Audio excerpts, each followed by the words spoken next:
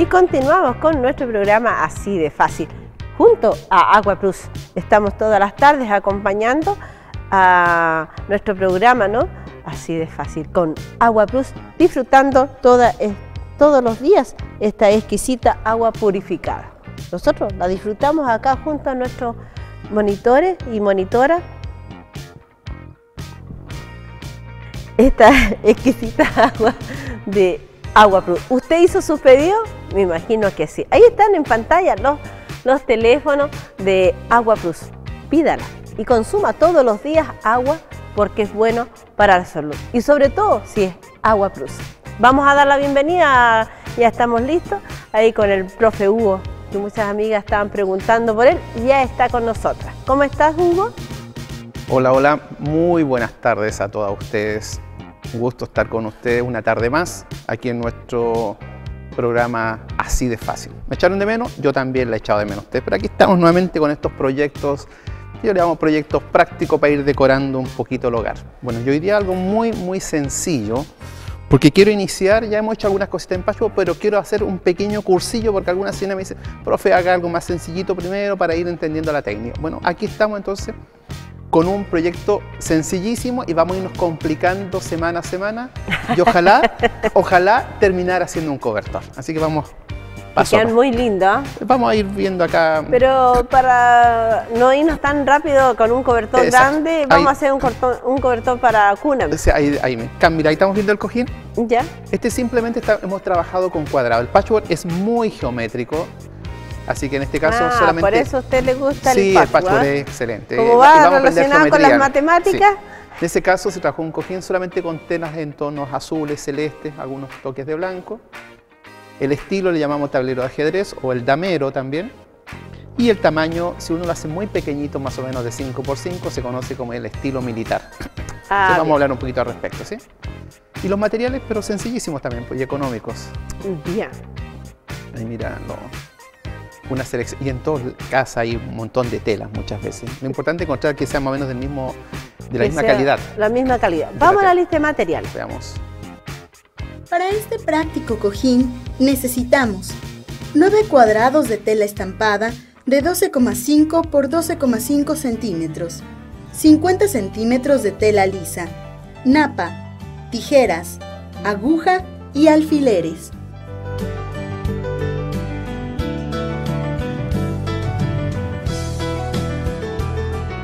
Bien, ahí está la lista de materiales que son, es muy fácil hay que tener los colores que vamos a combinar. Eso es importante, los colores y los diseños. En este caso son todos diseños pequeños. Son diseños pequeños, ¿sí? En, cuanto a la tela. Ah, ya, otras recomendaciones, cuando uno vaya a trabajar con pacho, yo ah. siempre he recomendado la tela de algodón, pero a veces es imposible encontrarla en algunas ciudades, soy 100% algodón, si no pueden algodón, ocupen popelinas. Lo importante es que ocupen el mismo tipo de tela. Si van a ocupar tela sintética, que sean telas sintéticas todas. ¿Por qué? Porque cuando uno plancha, por ejemplo, mezcla algodón con sintético, el algodón necesita una temperatura más alta en la plancha y el sintético menos. Entonces uno plancha el algodón y el sintético se le va a recoger, o como decimos en Chile, se le va a churrascar, ¿sí? se, le va a perder todo su trabajo. Entonces, es importante, si va a trabajar con tela sintética, digamos, con más porcentaje de poliéster, que ocupe que sea todo poliéster. El trabajo va, a durar, digamos, es menos durable. El patchwork, yo le digo, de ahí le voy a contar alguna anécdota, dura muchísimos años. Ya el primer proyecto que vamos a hacer, ya hemos hecho otras veces algunas cosas de patchwork, pero ahora vamos a hacer un pequeño ciclo de patchwork. Es eh, cortar en este caso cuadraditos. Yo acá corté de todo, las telas que tenía, pedacitos, en este caso son de 12,5 por 12,5. Ahora, ¿por qué 12,5? Por lo general, el patchwork, digamos, el patchwork originario de, Inglaterra, Estados Unidos, entonces las medidas ya son en pulgadas. Entonces cuando pasamos a nuestra transformación de unidades a centímetros, quedamos entre 12 y 12,5 centímetros para que nos quede un cuadrado aproximadamente de 10 centímetros. Lo que en, onda americana serían 4 pulgadas. Una pulgada son 2,5 Entonces para no, para no enredarnos, corté acá cuadraditos de 12,5. Igual como los que usan nuestros chicos en el colegio, que son de 10 por 10, estos son de 12,5 puede hacerse una plantilla, ir marcando o bien con una regla. En otro programa vamos a hacer cómo cuadrar una tela, porque a veces hay problemas con eso. Pero por hoy día, muy sencillito. Entonces, voy a trabajar primero con dos colores.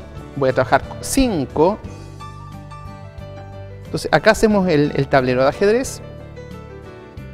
Las voy a poner presentar primero, de esta forma. Acá ustedes pueden jugar, si, si no lo quieren hacer de esta forma, pueden variar la combinación. Aquí estoy poniendo simplemente alternados. Acá este me quedó cambiado ahí. Ese acá, ese acá, un amarillo y un este medio turquesa. Ahí tengo una composición. Si no le gusta así, usted puede jugar, puede cambiar. Puede, por ejemplo, también correr el color, jugar con tres colores, sacamos una y la cambiamos por otra, pueden ser todas distintas, pero necesito nueve cuadrados, ¿sí? O bien los cuadraditos que encontró, si no le gusta así, simplemente empezó a buscar, como le he dicho en otros programas, la camisa del esposo, el vestido de su niña cuando era chica, ya le quedó grande, digamos ella creció, tomamos colores nomás, sin ningún patrón, por ejemplo, y componemos igual, pero siempre tiene que ser 9, 3 por 3. Una vez que tenemos eso, vamos a tomar aquí, esta era nuestra pieza central y esa, y cosemos en, en, esta, en este caso una especie de columna, una fila. ¿sí? Tengo esa, esta y esta. Esta ya tengo cosida. Detalle importante. En este caso las costuras las tiro hacia el lado oscuro, a los extremos. La costura no se abre, sino que las planché hacia acá y la otra hacia allá. Lo mismo en el otro extremo, las costuras hacia afuera. Y esta, las costuras hacia adentro. Cosa que cuando usted pase máquina, no les quede acá todo un montón de costura, mucha, mucha tela y le va a quedar muy grueso. Entonces, unas costuras para allá y otras hacia abajo. Eso nos ayuda a deslizar la máquina con mayor facilidad y también evitamos que la aguja se nos pueda quebrar. Entonces tengo eso ahí. Ahora que tengo hecho las tres eh, filas, esta la montamos sobre esa y unimos a máquina y finalmente lo mismo con la otra. Eso nos produce este tablerito que tengo acá. Eh, eh, antes que continúe, eh, llamó una persona y dice que no entiende cómo las medidas de los cuadros. 12,5 por 12,5. Es un cuadradito, en un cartón mida 12,5 y 12,5. Tan sencillo como eso. Ahora acá tengo un cuadernillo que, que, lo mandé a multicopiar para del día miércoles, jueves, lo pueden pasar a buscar, donde viene un montón de diseños y vienen las plantillas cuadrados, triángulos, vienen también los hexágonos, para empezar a trabajar. Como digo, vamos a estar en un ciclo, así vamos a ir dando varios, varias técnicas. Pero acá simplemente cuadrados de 12,5 por 12,5. Lo que le decía con respecto a las costuras. ¿Y por qué no fue 12 nomás? Ah, por lo que decía por el efecto de las pulgadas. Podrían, ah. podrían dejarlo de 12. Ya. Podrían dejar, lo que pasa es que el pie de la máquina tiene un ancho. Sí. ¿sí? Y eso varía. Algunos pies de máquina son más anchos, otros más angostos. Entonces lo, lo, dejé, estandaricé, dije ya 12,5, pero pueden usar 12, no habría problema si lo hacen de 12, no habría problema. Le va a okay. la chica un poquitito, pero no afecta tanto.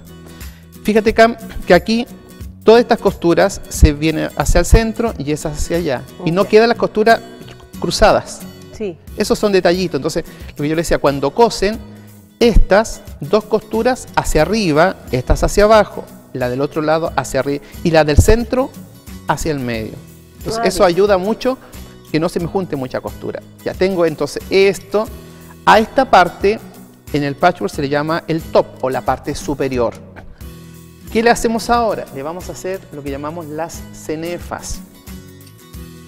Y acá, supongamos si yo quiero hacer un cojín de 40 centímetros y acá tengo 30, nos faltan 10 centímetros, entonces le agrego una winchita acá para que me dé el largo. Ahí, Bájala un poquitito pasada. Le agregamos una acá. Agregamos otra abajo, en la parte inferior.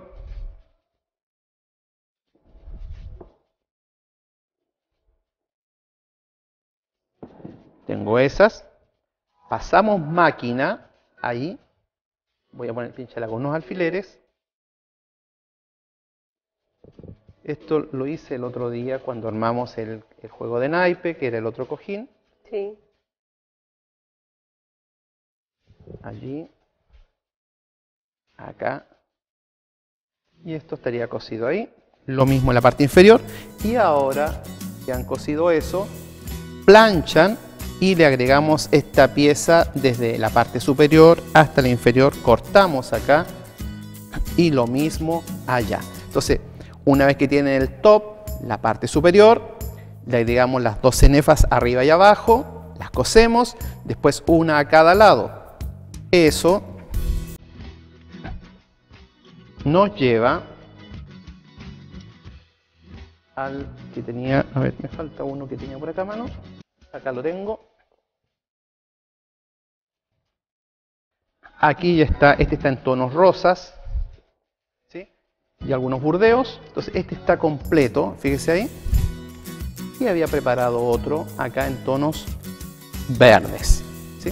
La misma combinación, la misma, los mismos cuadraditos, 3x3, me da los 9. Ya, ¿qué, ¿qué viene después? Toman un trozo de napa. Esto es la parte fundamental. Esto es lo fundamental. Tomamos un trozo de napa, la parte inferior, y simplemente con máquina hacemos el acolchado. Y con esto después formamos el cojín. ¿sí? El resto es simplemente hacer la funda posterior. Bien. Eh, ¿Por qué le indico este proceso? Este es el más fácil para hacer después un cobertor.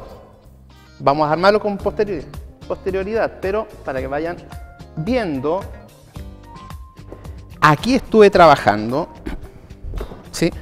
y acá tomé telas al azar. Simplemente todos los retazos que tenía, hice 24 de estos, y esto me va a permitir armar un cobertor de dos plazas.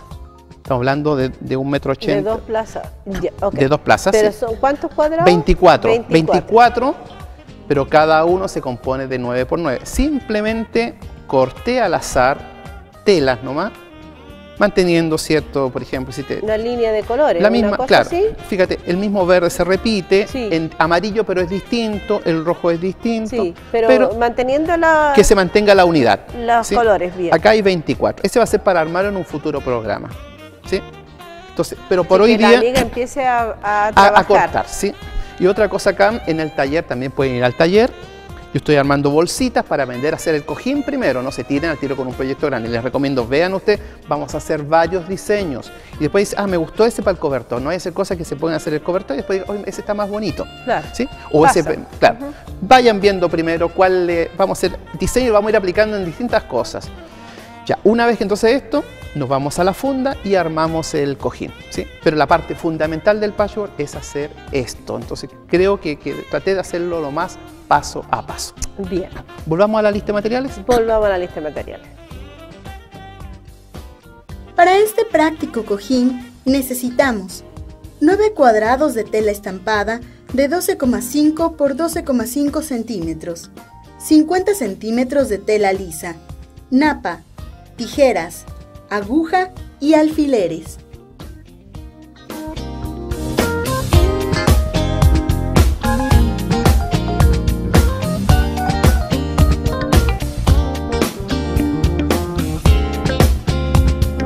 Ahí está la lista de materiales para trabajar esta técnica que es el patchwork. Recuerden que vamos a hacer varios trabajos para que usted vaya viendo y se vaya entusiasmando. Como decía el profe Hugo, no, no, no nos tiremos con el cobertor todavía porque tenemos que aprender varios. Acá vamos a mostrar un diseño distinto a los cuadrados.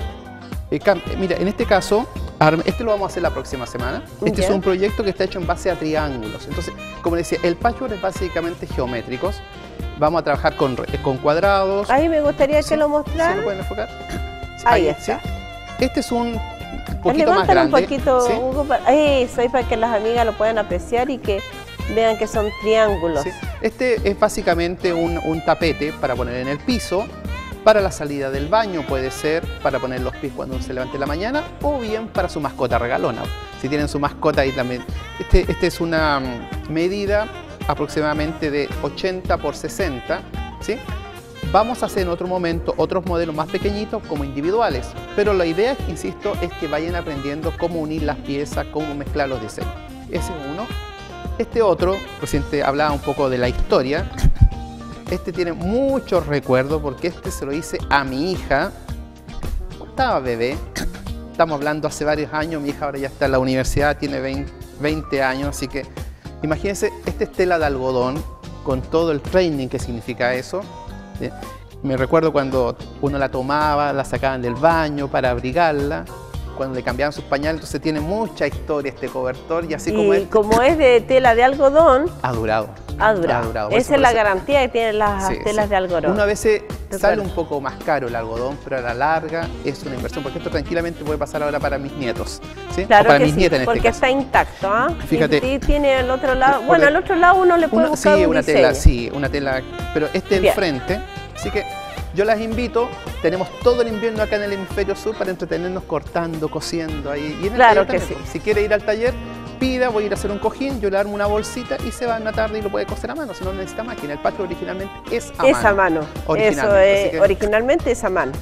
Así que, bienvenida. Así que al, taller cuando quiera. Ay, no me tengo que olvidar. Mañana en mi taller a todas las alumnas y las que han ido el año pasado, que se me han perdido por ahora, estamos celebrando el Día de la Madre. Ven ahí en el Facebook, me mandan un mensajito ahí, que van a ir para considerarla. Torta de ciruela y un pastelito de choclo ah, para tomar once, dulce o salado. para, para antojarlas un poco. Claro que sí. Que estés muy bien. Gracias, Cam. Muchas gracias. Nos vemos la... el próximo el próximo lunes con ese bajada de cama o un tapete que estés muy bien. Nosotros también tenemos que irnos rápidamente, amiga. Espero que haya disfrutado el programa junto con nosotros y haya aprendido, igual que yo, aprendí. Siempre voy aprendiendo algo. Que estén muy bien. Que Dios les bendiga. Chao, chao.